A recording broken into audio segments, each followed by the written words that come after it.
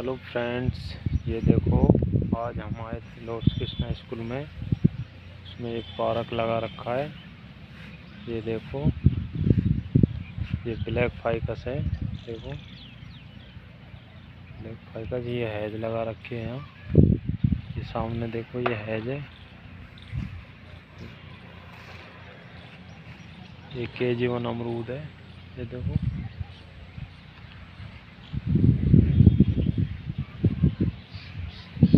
ये देशी अशोक है। देशी अशोक।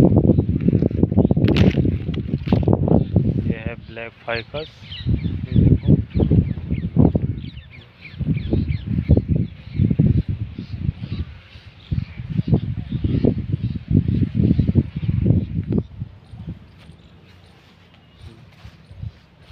ये आम है हाइब्रिड में